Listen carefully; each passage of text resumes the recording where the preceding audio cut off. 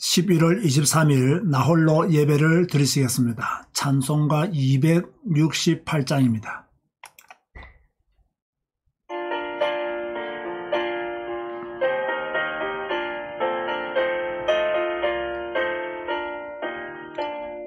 죄에서 자유를 얻게 함은 보혈의 능력 주의 보혈 시험을 이기고 승리하니 참 놀라운 능력이로다.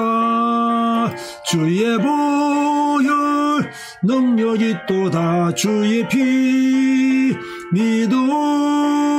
주의 보혈 그 어린 양의 매우 귀중한 피로다.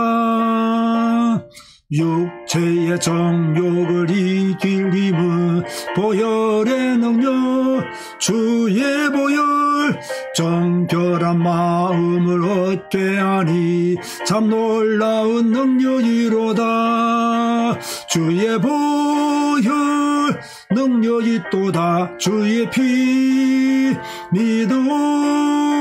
주의 보혈 그 어린 양의 매우 귀중한 피로다. 눈보다 더 희게 맑히는 것 보혈의 능력 주의 보혈 부정한 모든 것 맑히시니 참 놀라운 능력이로다. 주의 보혈 능력이 또다. 주의 피 믿어 주의 보혈 그 어린 양의 매우 귀중한 피로다. 국주의 복음을 전할 제목 보혈의 능력 주의 보혈. 날마다 나에게 찬송 주니 참 놀라운 능력이로다.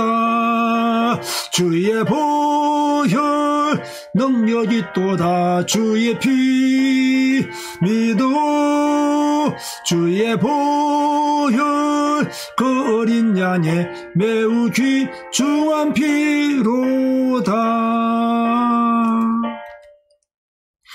주님 감사합니다. 오늘도 주님의 보혈의 피를 의지하여 나홀로 예배로 주님께 영광 돌립니다. 오직 복음, 오직 예수 그리스도로 충만한 예배가 되게 하시며 하나님에게 영광 돌리며 우리에게 하나님의 큰 은혜가 넘치는 예배로 축복하여 주옵소서 예수님의 이름으로 기도드리옵나이다. 아멘.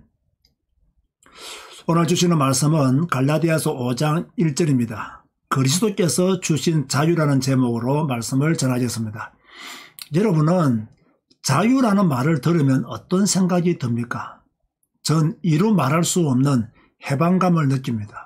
억눌렸던 모든 것이 솟아오르는 느낌이지요. 그래서 자유라는 단어를 참 좋아합니다.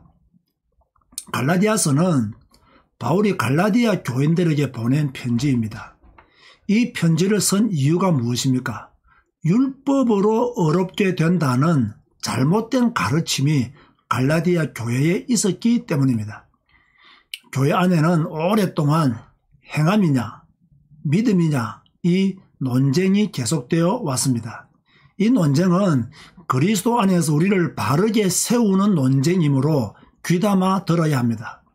율법은 그 속성상 행함을 요구하고 있고 복음은 예수님의 십자가 구속을 강조하기에 믿음을 요구합니다. 그런데 갈라디아 교회 안에는 율법을 지킴으로 구원을 받는다는 자도 있었습니다. 즉 할례와 구원을 동일시하는 잘못된 가르침이 교회를 어지럽게 했습니다. 구원은 믿음으로 받지요. 이것은 변하지 않는 진리입니다. 구약시대 사람들은 율법을 다 지키지 않아서 구원을 받지 못한 것이 아닙니다. 하나님을 믿지 않았기 때문에 구원을 받지 못했습니다. 그렇다면 우리는 어떠합니까? 주 예수 그리스도를 믿습니다. 믿기 때문에 하나님의 자녀가 되었습니다. 그럼 우리의 행위는 어떠해야 합니까? 율법이 기준입니까? 아닙니다. 복음이 명령하는 바를 지켜야 합니다. 그런데 갈라디아 사람들은 구약으로 돌아가서 할례를 받아야 한다는 주장을 펼쳤습니다. 잘못된 주장이지요. 행함이냐 믿음이냐 당연히 믿음입니다. 그럼 행함은 필요 없느냐 이것도 아닙니다. 필요하지요. 어떤 행함이 필요합니까? 율법으로 돌아가는 행함이 아니라 복음 안에서의 행함이 있어야 합니다. 그래야 방종으로 빠지지 않습니다. 다시 오늘 본문으로 돌아가겠습니다. 그리스도께서 우리를 자유롭게 하려고 자유를 주셨으니 그러므로 굳건하게 서서 다시는 종의 멍에를 매지 말라 했습니다.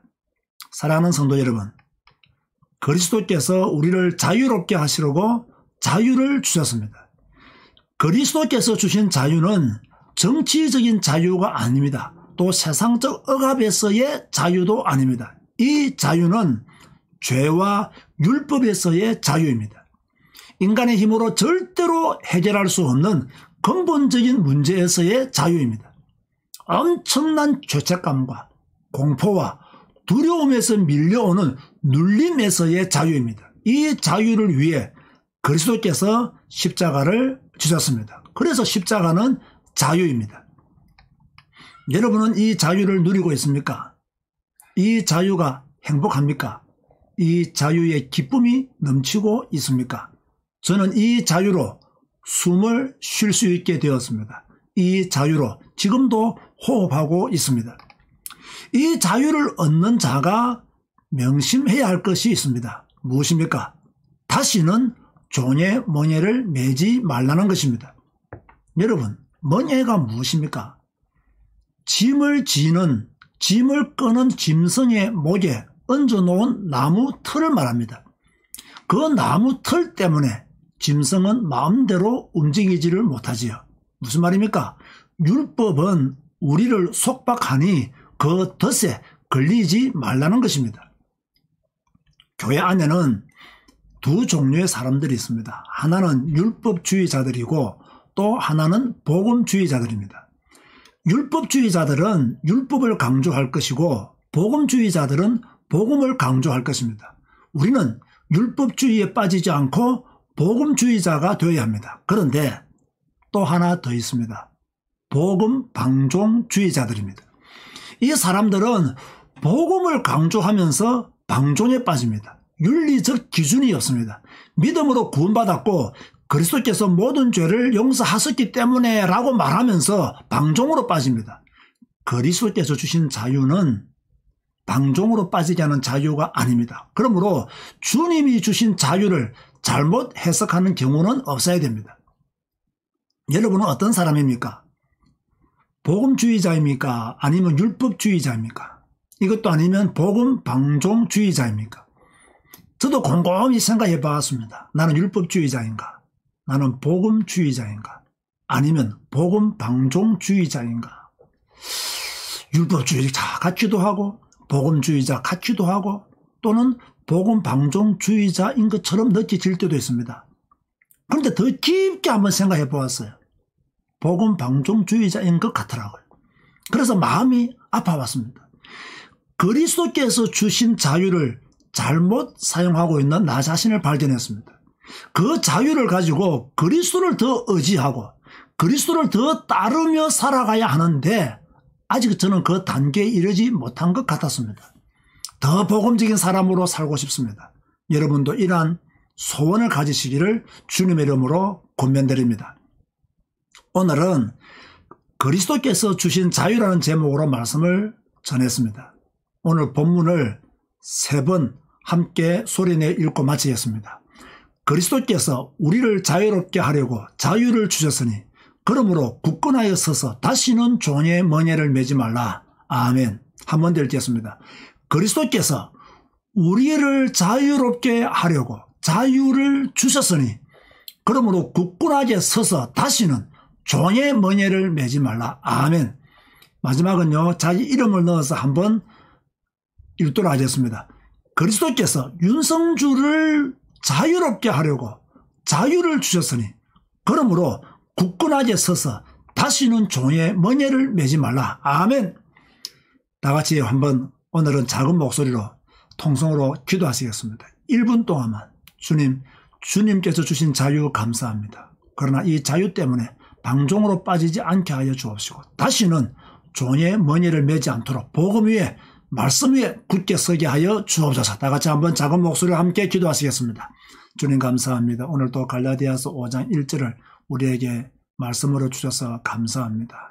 그리스도께서 우리를 위하여 자유를 주셨사오니 주여 그리스도 위에 굳게 서게 하시고 다시는 종의 머니를 매지 아니하도록 은혜를 베풀어 주옵소서.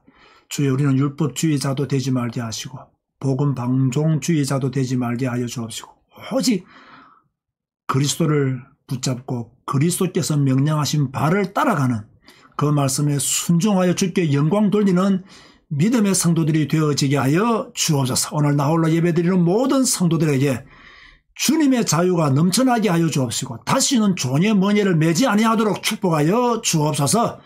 지금은 우리 주 예수 그리스도의 은혜와 하나님의 크고 무한하신 사랑과 성령님의 교통하심이 주님이 주신 자유를 소중하게 간직하며 그 자유 안에서 기쁨과 즐거움을 누리며 다시는 종의 머니를 매지 않기를 다짐하는 주의 백성들 머리 위에 지금부터 영원까지 항상 함께 있을지어다. 아멘. 오늘 저녁 9시에 성경 일기 방송으로 다시 찾아뵙겠습니다. 감사합니다.